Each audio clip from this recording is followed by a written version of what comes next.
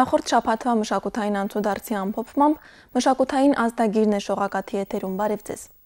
Միջազգային ինչ հարթակներում է վերջին ամիսներին ներկայացվել հայ գիրքը։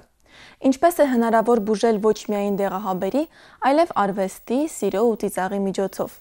Ինչպիսի մեդիա բովանդակություն է ստեղծվում թվային միջավայրում, ինչ մասնիկներ է հավաքել ու մի ամբողջական պատմություն դարձրել Նարեկ Աշուղաթոյանն իր առաջին ցուցահանդեսում։ Ինչպես է Պոլսոթաղերում իր պտույտը պատկերել նկարիչ Լևոն Լաճիկյանն իր գծանկարներում։ Այս ու այլ հարցերի պատասխաններն ենք փորձելու տալ մեր այսօրվա թողարկման ընթացքում։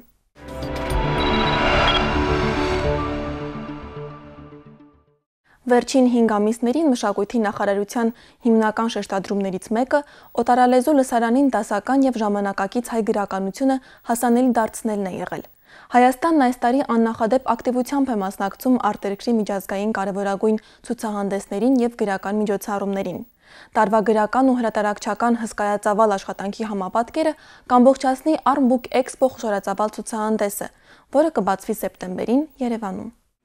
Հայաստանի Հանրապետության մշակույթի նախարարության եւ հայոց ցեղասպանության 100-րդ տարելիցին նվիրված միջոցառումները համակարգող Պետական հանձնաժողովի աջակցությամբ այս տարի Հայաստանն ակտիվությամբ մասնակցել է արտերկրի միջազգային կարևորագույն ցուցահանդեսներին ու գրական միջոցառումներին։ Մինսկ, Փարիզ, Լոնդոն, Սալոնիկ, Վարշավա, Թեհրան, հայկական տաղավարները տպավորիչ ներկայություն են ապահովել գրքի միջազգային տոնավաճառներում։ Մշակույթի նախարարությունում հրավիրված մամուլի ասուլիսի ժամանակ Մշակույթի նախարարի տեղակալ Ներսես Տեր-Վարդանյանն ամփոփեց վերջին ամիսներին կատարած աշխատանքներն ու խոսեց առաջիկայում սպասվելիք գրական նոր ծրագրերի մասին։ Դեռևս տարվա առաջին 5 ամիսների ընթացքում Հայաստանն արդեն մասնակցել է 8 միջազգային գրքի տոնավաճառի եւ ցուցահանդեսի։ Համեմատության համար ասեմ, որ անցյալ տարի այդ թիվը ամբողջ տարվա ընթացքում եղել է 6-ը։ Շատ կարևոր են այս ցուցահանդեսները նաև այն առումով, որ դրանցում ներկայացվում են արտերկրում հրատարակված եւ մասնավորապես հենց այդ ցուցահանդեսների երկրներում հրատարակված գրքերը։ Այս տարվա մեկնարկը տրվել է փետրվարին Մինսկի միջազգային ցուցահանդեսին մասնակցությամբ։ Մարտի 20-ից 23-ը Փարիզի գրքի տոնավաճառի օրերին հայկական տաղավարում հեղինակների մասնակցությամբ կազմակերպվել են շնորհանդեսներ։ Լոնդոնի երրորդյա տոնավաճառում եւս հայկական տաղավարը հետաքրքրություն է առաջացրել օտար ընթերցողի մեջ։ Մայիսը կրկին առատ էր միջազգային տոնավաճառներով՝ Թեհրան, Սալոնիկ, Գերմանիա, Ավստրիա եւ Վարշավա։ Վերջին ամիսների գրական ոլորտի իրադարձություններից մշակույթի նախարարի տեղակալն առանձնացրեց ապրիլին Երևանում կայացած գրական տապան ապրիլ ծրագիրը։ Այս նախաձեռնության շնորհիվ ընթերցասեր հանրությունը ծանոթացավ հայոց ցեղասպանության թեմայով հրատարակված օտարալեզու ստեղծագործություններին։ Մինչ օրս գրական տապան փառատոնը Հայաստանում հյուրընկալել է շուրջ 90 գրողի 38 երկրից։ Հրատարակվել է մասնակիցների տպավորությունները ներկայացնող ստեղծագործությունների 4 ժողովածու։ Գրական իրադարձություններին զուգահեռ մշակույթի նախարարությունն այս տարի նախաձեռնել է մի նոր ծրագիր եւս։ Նպատակային թարգմանությունների աջակցության ծրագիր։ Խոսքը արտերկրի հրատարակիչների կողմից հրատարակվելիք հայերեն գրքերի կամ հայկական թեմայով գրքերի թարգմանություններին օժանդակելու մասին է։ Եվ այս տարի առանձին ուղղվածություն է վերցվել եւ աջակցվելու են բացառապես հայոց ցեղասպանությանը նվիրված գրքերը, գրքերի թարգմանությունները Գրական աշխարհում հաջորդ խոշոր իրադարձությունը, որին Հայաստանն այս տարի առաջին անգամ է մասնակցում, Նյու Յորքի Book Expo Ամերիկային միջազգային ցուցահանդեսն է։ Միացյալ Նահանգների տարբեր քաղաքներից ժամանած գրողները ներկայացնելու են իրենց նախագծերը, տեղի են ունենալու հայ գրողների գրքերի շնորհանդեսներ։ Մարի Խաչատրյան, Վրամ Խանամիրյան, մշակութային ազդագիր։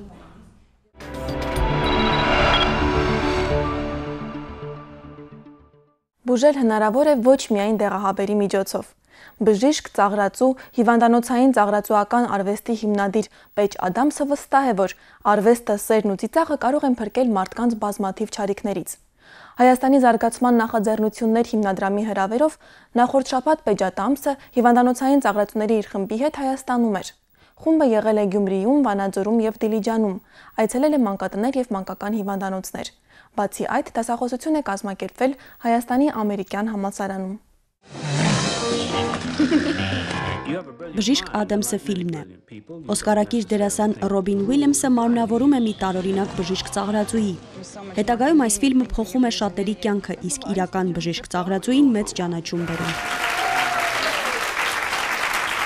Փեչ Ադամսը մասնագիտությամբ բժիշկ է, միաժամանակ համարվում է ծիծաղի հոգեթերապիայի եւ կլոունադայի հիմնադիրներից մեկն աշխարհում։ Չունեմ ոչ մի գործիք կամ հապ, ունեմ խաղալիքներ, ասում է բժշկական գիտությունների տեխնացու ծաղրածուն։ Նա եղել է աշխարի տարբեր հիվանդանոցներում եւ փորձել է բուժել մարդկանց ծիծաղով ու ժպիտով։ 1970-ականներին Ամերիկայի Միացյալ Նահանգներում հիմնել է Գուզենթայթ ինստիտուտ, թարգմանաբար Բարի առողջության ինստիտուտը, որը գործում է որպես բժշկական էկոլոգիական հաստատություն եւ որտեղ անվճար բժշկական օգնություն է ցուցաբերվում բոլոր մարդկանց։ Աշխարհում կան հիվանդ երեխաներ, ովքեր չեն կարող բուժվել, քանի որ միջոցներ չունեն։ Հենց դրա համար էլ անվճար հիվանդանոց բացեցի։ Աշխարհում ոչ մի ուրախ հիվանդանոց չկա։ Միջավայրը խիստ է, ծանր, դժբախտ, զուրկ սիրուց։ Այդպես են փորձում բուժել մարդկանց։ Զավեշտալի է։ Ուշագրավ է բժիշկ Ծաղրածուի կյանքի պատմությունը։ 16 տարեկանում Փեչը Գերմանիայից տեղափոխվում է ԱՄՆ։ Տեսնելով մեծ տերության մեջ տիրող անարթարություններն ու տարապանքը ընկճվում է, նույնիսկ մի քանի անգամ փորձում է ինքնասպան լինել։ Չի ուզում ապրել բռնության եւ անարթարության աշխարհում, բայց մի օր հասկացա, որ ինքնասպան լինելու փոխարեն պետք է ինքս դառնամ խաղաղություն եւ արդարություն տարածող գործիք։ Այդպես էլ սկսվեց իմ սիրո հեղափոխությունը, ասում է Ծաղրածուն։ Ամեն ինչ հեշտ էր։ Ես պատրաստվում էի դառնալ բժիշկ։ Նպատակիս հասնելու համար հաջորդական քայլեր էի անում։ Ավարտեցի 1971-ին, իսկ հաջորդ քայլը արդեն իրոք շատ անձնական ու կարևոր էր։ Մտածում էի ինչպես կարող եմ ծառայել որպես խաղաղության, արդարության եւ հոգատարության գործիք, իմ կյանքի ամեն մի վայրկյանի ընթացքում, առանց հանգստի, անընդհատ աշխատելով։ Երկար մտորելուց հետո Փեչ Ադամսը դառնում է ընտանեկան բժիշկ-թերապևտ։ Իր հիվանդանոցային ծաղրացուների խմբով տարեկան մոտ 9 այց է կատարում աշխարի տարբեր երկրներ, Ներկայացումներ կազմակերպում հիվանդանոցներում, մանկատներում, ծերանոցներում եւ ինտերնատներում։ Փոքրիկները նրա ներկայացումների շնորհիվ կարողանում են արագ հաղթահարել բարդ եւ ագրեսիվ հիվանդություններ։ Նա համոզված է, որ ծիծաղը հիվանդներին նաեւ ֆիզիկապես է օգնում։ Օրինակ ապացուցված է, որ ծիծաղը ոչնչացնում է քաղցկեղի բջիջները։ Այն ամրապնդում է իմունային համակարգը, նպաստում օրգանիզմում էնդորֆինի արտադրությանը, մի խոսքով այս բոլորը միասին դրական բիոքիմիա է։ Այս հոլովակում Ադամսը Լատինական Ամերիկայում է։ Փորձում է խաղի միջոցով ուրախացնել հաշմանդամություն ունեցող մի աղջկա։ Ասում է, երբ ամբողջի մեջ նկատում եմ մեկին, որն իմ ուշադրության եւ սիրո կարիքն ունի, մոռանում եմ բոլորին եւ տարվում միայն նրանով։ Աշխատանքը կատարելագործելու համար ավելի քան 40 հազար գեղարվեստական եւ մասնագիտական գիրք է կարդացել եւ սովորել 4 ժամ անդադար պոեզիա արտասանել։ Բացի այդ ուսանելու տարիներին մշակել է մարդկանց օգնելու մեթոդներ, Ժամեր է անցկացրել անծանոթ հեռախոսահամարներով զանգելու եւ մարդկանց հետ զրույցի ընթացքում նրանց սրտերին հեշտ հասնելու ճանապարհը գտնելու համար։ Երբ տեսնում եմ գժտվող մարդկանց, հանում եմ իմ խաղալիքները եւ սկսում զվարճացնել կամ պարզապես գրավել նրանց ուշադրությունը։ Ֆիզիկական ծանր վարժությունների եւ խիստ դիետաների փոխարեն Ադամսը փորձարկել է 3 ժամ տևող ռոք-ն-ռոլ, որն ի դեպ մեծ արդյունք է գրանցել։ Each person decides who they're going to be. Ամեն մարդ ինքն է որոշում ինչ է դառնալու։ Ոչ մի բժշկական համալսարան սիրո եւ կարեկցանքի դասաժամ չունի։ Հիվանդանոցները լի են դաժան ու տխուր դեմքեր ունեցող մարդկանցով։ Բժշկությունը դարձել է բիզնես եւ ոչ մարդկանց օգնելու միջոց։ Ուրախ հիվանդանոց աշխարհում չկա։ Փեչատը մսնիր հիվանդանոցային ծաղրացուների խմբի հետ Երևանում, Գյումրիում, Վանաձորում եւ Դիլիջանում այս մեկ շաբաթվա ընթացքում այցելել է տարբեր մանկատներ ու մանկական հիվանդանոցներ եւ փորձել իր մեթոդներով ուրախացնել երեխաներին։ Բուժման այս ինքնատիպ ուղղության հիմնադիրը աշխարհում հայտնի է նաև որպես սոցիալական հարցերի ակտիվիստ եւ բարի կամքի դեսպան։ Մարինե Քոչարյան, Արթուր Մանուչարյան, մշակութային ազդագիր։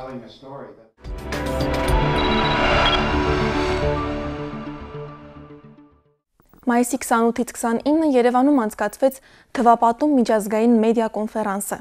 Նպատակը թվային միջավայրում մեդիա բովանդակության ստեղծման ժամանակակից փորձը, ձեռքբերումներն ու միտումները ներկայացնելն էր։ Բանախոսները Հայաստանից, Վրաստանից, Լիտվայից, Ռուսաստանից եւ Միացյալ Նահանգներից էին։ Կոնֆերանսի կազմակերպիչը մեդիա նախաձեռնությունների կենտրոնն էր։ Թվային միջավայրում մեդիա բովանդակության ստեղծման ժամանակակից փորձի ձեռքբերումների լրատվական նոր ձևաչափերի մասին են խոսում Հայաստանի ամերիկյան համալսարանում հավաքված մեդիա դեմքերը։ Մեդիա նախաձեռնությունների կենտրոնը թվապատում համաժողովին հրավիրել է նոր գաղափարներ առաջարկող ու որոնող լրագրողների։ Լատվիայում հայտնի լրագրող Ալեքսանդր Պոլիվանովը նրանցից մեկն է։ Կայքը, որի հատուկ նախագծերի բաժինը Պոլիվանովն է ղեկավարում, մեդիա միջավայրում հայտնի է իր նորարարություններով։ Մի վախեցեք նոր ու համարցակ գաղափարներից, առաջարկեք ու իրագործեք դրանք։ Լրագրողի խորհուրդն է հայ գործընկերներին։ Многие СМИ Շատ լրատվամիջոցներ չեն հասկանում, ինչպես մատուցեն իրենց բովանդակությունը։ Օրինակ այն, թե որտեղ պետք է լինեն նորությունները, որտեղ հատուկ նախագծերը։ Շատերը վախենում են նոր մտքերից։ Նրանք տեսնում են, թե ինչպես են ուրիշները ինչ որ ձևաչափում հաջողել ու պատճենում են այն։ Ես փորձում եմ բացատրել, որ դա այնքան էլ ճիշտ չէ։ Անհավանական արագությամբ փոփոխվող թվային միջավայրում լրատվամիջոցներն այսօր ստիպված են միաժամանակ մտածել նաև այդ միջավայրին արագ հարմարվելու մասին։ Արիզոնայի պետական համալսարանի լրագրության եւ զանգվածային հաղորդակցության Քրոնքայթի դպրոցի մուլտիմեդիա լրագրության դասախոս Լեսլի Թորոնտոնը սեփական փորձով է համոզվել, որքան շատ թվային գործիքներ օգտագործեն լրագրողները, այնքան մեծ կլինի ընթերցողի ուշադրությունը գրավելու հնարավորությունը։ Երկար տարիներ ժուրնալիստիկայի այցեքարտն էր օբյեկտիվությունը, սակայն այսօր մենք ապրում ենք մի ժամանակաշրջանում, երբ մարդկանց շփման ձևերը հեղափոխության են ենթարկվել, եւ հիմա մենք ստիպված ենք օբյեկտիվության հետ մեկտեղ աշխատել նաեւ ամեն ինչ արագ անել, արագ հավաքել ու համադրել փաստերը։ Հիմա մենք այս ամենը անելու համար նաև հնարավորություններ ենք ստացել։ Այժմ մենք միաժամանակ շատ մարդկանց հետ կարող ենք կապի մեջ լինել եւ աշխատել։ Համաժողովին ներկա հայաստանյան մեդիայի ներկայացուցիչները շատ հարցերում կիսում են արտասահմանցի գործընկերների կարծիքներն ու մտավախությունները։ Մենք նույնպես ապրում ենք համաշխարհային մեդիայի ռիթմով, գրում ենք նույն միտումներն ու բախվում նույն խնդիրներին։ Այս ամենի մեջ լրագրողի ու մեդիայի ղեկավարության համար գլխավորը ազնվությունը չկորցնելն է, ասում է Մեդիամաքս մեդիանկերության տնօրենը միշտ լրատվամիջոցի բարի համբավը կարևոր է եղել, այսօր առավել քան կարևոր է, որովհետև այսօր լրատվամիջոցները առաջանում են, մեռնում են, շատ արագ է այդ ամենը տեղի ունենում եւ բարի համբավ ունեցող լրատվամիջոցները կշարունակեն գոյատևել։ Սակայն մեկ անգամ այդ վստահությունը կորցնելով շատ ավելի դժվար կլինի այն վերականգնել, քան դա նախկինում էր Հայկական մեդիայի հաղթահարած այս պահին արկա ու դեռ գալիք մարտահրավերների մասին է Ազատություն ռադիոկայանի կայքեջի խմբագիր Արթուր Պապյանի զեկույցը։ Բազմաթիվ հետազոտություններով, թվերով ու վերլուծություններով հագեցած զեկույցից པարզ է դառնում մի բան. Թեև կարճ ժամանակահատվածում շատ մարտահրավերներ հաղթահարված են, բայց այսօր մեր լրատվամիջոցները մի մեծ խնդրի առաջ են կանգնած։ Այսօր ամենամեծ խնդիրը հայաստանյան մեդիայի համար իր լսարանը պահպանելը եւ պահպանելն է եւ միջոցներ գտնելը, որպիսի հավատարիմ ընթերցողների բանակ ձևավորի, որոնք ոչ թե գալիս են այդ լրատվամիջոցի մոտ clickbait-երով, այսինքն Facebook-ում պատահական տեսած կլիկներով, այլ գալիս են, որովհետև գնահատում են այդ լրատվամիջոցի աշխատանքը։ Արթուր Պապյանն իր ելույթում չի մոռանում նշել, որ այս ամենով հանդերձ հայկական լրատվամիջոցները որոշ դեպքերում ինտերնետ միջավայրում իրենց իսկական գերազանցիկի պես են պահում։ Բոլոր սոցիալական ցանցերում էջեր ունեն, արագ յուրացնում են այդ միջավայրի առաջարկած գործիքները, անկախ այն բանից, թե որքանով է արդյունավետ դրանց կիրառումը։ Իսկ մեդիա նախաձեռնությունների կենտրոնի տնօրենը մեր լրատվամիջոցների համաշխարհային միտումներին արձագանքելու մասին նախընտրում է համեմատականներով խոսել։ Եթե խոսել նախքին սովետական միության տարածքի մասին, հա, ավելի շուտ էս մեր մոտիկ ռեգիոնի մասին, ես կարծում եմ, որ Հայաստանի լրագրողների ունակությունը, դինամիկան, ցանկությունը աշխատելու բավականին մեծ է։ Ռեսուրսներն են փոքր, հնարավորություններն են միգուցե փոքր եւ այլ հնարավորությունների դեպքում միգուցե մեր առաջընթացը շատ ավել կլիներ։ Եթե խոսել աշխարհի մասին, իհարկե մեր լրատվական դաշտը շատ ավելի հետ է մնում եւ նորից վերադառնալով կոնֆերանսին միգուցե եւ մենք փորձում ենք այնպես անել, որպեսզի դրթել մի քիչ ավելի առաջ տանել եւ փորձել այդ նոր փորձը էլի ներմուծել Երկորյա համաժողովի ընթացքում թվային միջավայրի բազմաթիվ հարցերի անդրադարձան զեկուցողները։ Հարց ու պատասխանի միջոցով փորձեցին ողջել գործընկեր լրագրողներին հուզող հարցերը, լուծումներ առաջարկել։ Եվ որքան էլ որ մեդիա ապագան անակնկալներով ու մարտահրավերներով լի է թվում, իսկ ներկայում էլ լուծումներ պահանջող շատ հարցեր կան, մեդիա բովանդակության պատասխանատուները համոզված են։ Մարդը եւ մարդկային պատմությունները մեդիա միջավայրում գերիշխող են դառնում։ Ամեն ինչ շատ ավելի հասկանալի ու հեշտ է, երբ աշխատանքի առանցքում մարդկային արժեքներն են։ Աստղիկ Հակոբյան, Վռամ Խանամիրյան, մշակութային ազդագիր։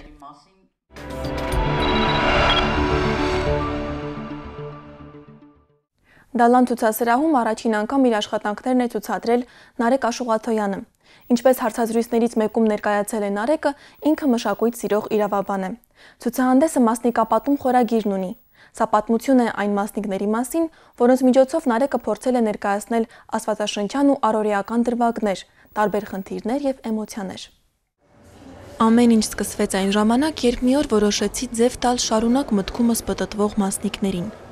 Այդպես մասնիկ առ մասնիկ, քայլ առ քայլ ծնվեցին կողքի սենյակի բոլոր մասնիկապատումները։ Այստեղ յուրաքանչյուր մասնիկ մի պատում է, իսկ մասնիկների միությունը պատմություն։ Մասնիկներս հավերժ տրոհվում են եւ հաճախ վերստին միավորվում, կառուցելով իմ ժամանակավոր տիեզերքը, մոլորակը եւ իհարկե Նարեկավանը, որտեղ բնակվում եմ ու երազում։ Բարի ճեմում Նարեկավանով։ Այսպես է Նարեկ Վան Աշուղաթոյանը դիմավորում իր առաջին անհատական ցուցահանդեսի այցելուներին։ Մասնագիտությամբ աստվածաբան եւ իրավաբան Նարեկը թեև նկարչական կրթություն չունի, բայց ինչպես ինքն է ասում, երևի միշտ էլ նկարել է։ Վերջին 15 տարիներին է սակայն, որ իր խոսքով սկսել է այսպես մանր նկարել։ Նկարներս կառուցված են մասնիկներով։ Ամեն մի մասնիկ մի պատում է, երբ որ այդ մասնիկները միավորվում են իրար հետ, դառնում է մի ամբողջ պատմություն։ Մասնիկապատում, այսպես է Նարեկը խորագրել իր առաջին անհատական ցուցահանդեսը։ Սա պատմություն է այն մասնիկների մասին, որոնք նրա ուշադրության եւ զգացմունքային դաշտի կենտրոնում են։ Այն երևույթների, որոնց հետ ամեն օր առնչվում եւ որոնցով ապրում է։ Թեմաները տարբեր են, բայց նրանց միավորողը մեկն է՝ մասնիկը։ Խնդիրը վերանում է պրոֆեսիոնալի եւ ոչ պրոֆեսիոնալի, որովհետեւ ինքը արել է ինչ որ պիտի աներ, իր նման է երևի, ես իրեն անձամբ չեմ ճանաչում, բայց յուրահատկություն կա եւ շատ ճաշակ կա, նրբաճաշակ գործեր են չափազանց նրբազգաց, շատ յուրովի, շատ իր քթած տեղը մանրանկարչության մեջ։ Նարեկը քթավ իր բջիջը, որը որ զարգացրեց։ Նրա ոճը շատ հետաքրքիր է, ոնց որ նոր ժամանակակից մտածողությամբ մանրանկար լինի։ Ինչ շատ դուր է գալիս եւ ես կարծում եմ նա մեծ հեռանկարներ ունի։ Հին Երևան, կենաց ծառ, դրախտ, կին, արև Ցուցահանդեսում Նարեկը 24 աշխատանք է ներկայացրել եւ 1 անիմացիա, որտեղ հավաքվել են նրա բոլոր աշխատանքների մասնիկները։ Մասնիկների մի մասը նույնիսկ շրջանակից դուրս է եկել ու հայտնվել ցուցասրահի տարբեր անկյուններում, ինչպես օրինակ այս բուխարու մեջ։ Աստվածաբանական կրթությունը որոշ թեմաներ ավելի խորությամբ հասկանալու հնարավորություն է տվել նկարչին։ Երևի պատճառներից մեկն էլ դա է, որ այս ցուցահանդեսում աստվածաշնչյան թեմաները որոշ չափով շեշտված են։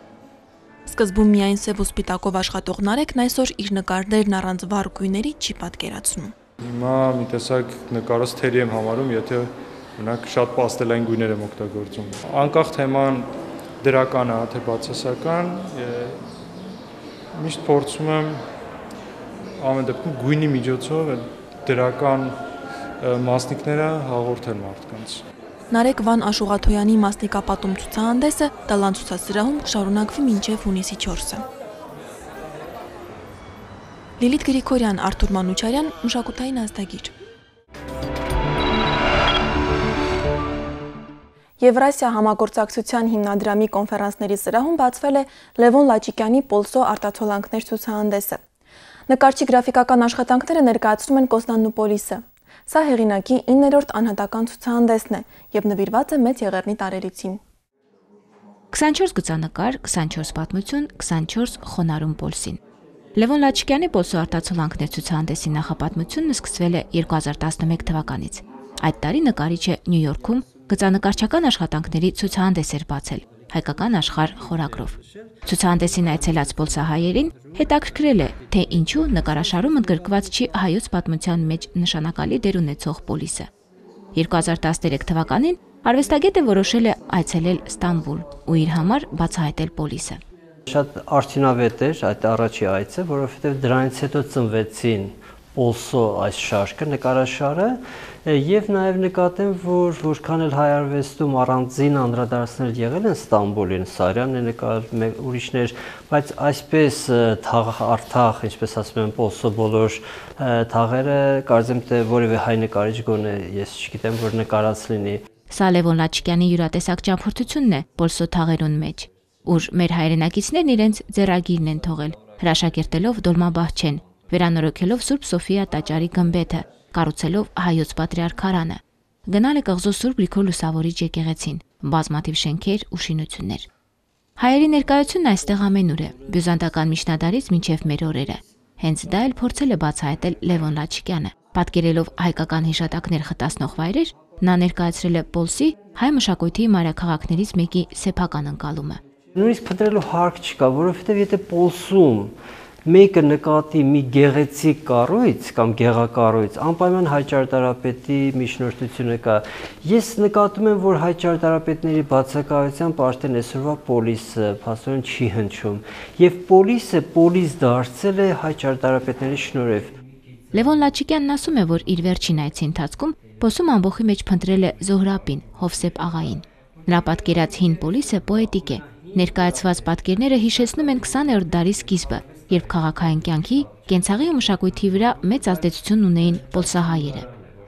Արվեստագետը զուգահեռաբար ուսումնասիրել է պոլսահայ պոետների հարուստ ժառանգությունն ու գրառումներ արել։ Լևոն Լաչկյանին հայ արվեստասերները ճանաչում են նաև որպես գրողի։ Արդեն 7 գիրք է հրատարակել։ Վերջերս խաչվող ճանապարհներ ուղեգրությունների ժողովածուին հաջորդել է Իմ Հայաստան բանաստեղծությունների ընտրանին։ Եթե մենք շատ լավ ճանաչենք մեր Հայաստանը, երևի դժվարությամբ կհեռանանք այստեղից։ Մի խոսքով թե նկարներից, թե գրքերից միջոցով փորձում Հայաստան աշխարհի իրական պատկերը գծել ու մատուցել արվեստասերին։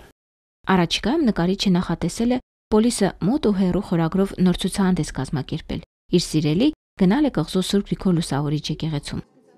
Երկու մոտ ժողովուրդ եւ երկու հերու հարևան Լևոն Լաչկյանն այսօր առաջնորդվում է Հրանտ Դինքի այս խոսքերով։ Նրա կարծիքով մենք պետք է ճանաչենք միմյանց եւ ապրենք առանց ատելության։ Ստելա Գևորգյան, Արտաշես Մաթեոսյան, մշակութային ազդագիր։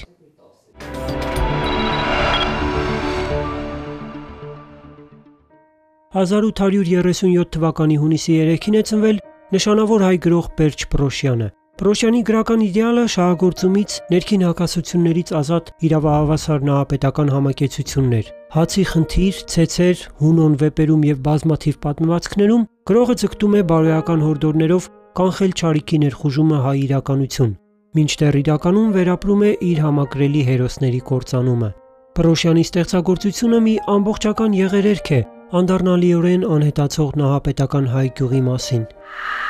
1903 թվականի հունիսի 6-ին է ծնվել աշխարհարչակ հայ կոմպոզիտոր ԽՍՀՄ ժողովրդական արտիստ Արամ Խաչատրյանը։ Նա մշակել է հայկական, ռուսական, հունգարական եւ այլ ազգերի ժողովրդական երգեր։ Խաչատրյանը հայ երաժշտությունը հարստացրել է նոր կերպարներով ու արտահայտչամիջոցներով, ընդլայնել ժանրային շրջանակները։ Բացի 3 սիմֆոնիաներից, հրճակավոր են նրա գործիքային կոնցերտներն ու սոնատները, պոլիֆոնիկ շարքը, Գայանե եւ Սպարտակ բալետները։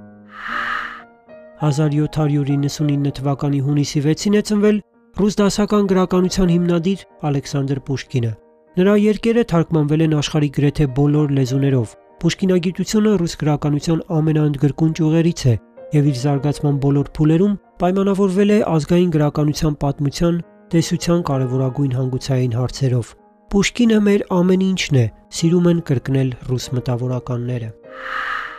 1848 թվականի հունիսի 7-ին է ծնվել ֆրանսիացի նկարիչ, սինթետիզմի, պրիմիտիվիզմի հիմնադիր Էժեն Անրի Պոլ Գոգենը։ Նա նկարել է գունագեղ արևադարձային բնապատկերներ եւ པարս քաղաքակրթության աղմուկից հեռու կերպարներ։ Նկարիչը ձգտում էր իրականություն դարձնել մարդու եւ բնության կատարյալ ներդաշնակությունը։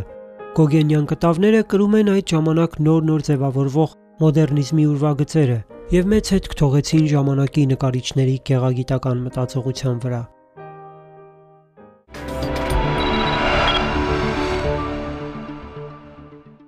Հունիսի 4-ին Արամե պատկերասրահում կբացվի Ֆրանսիայի աշխարհահռչակ նկարիչ Ժանսեմի աշխատանքների ցուցահանդեսը։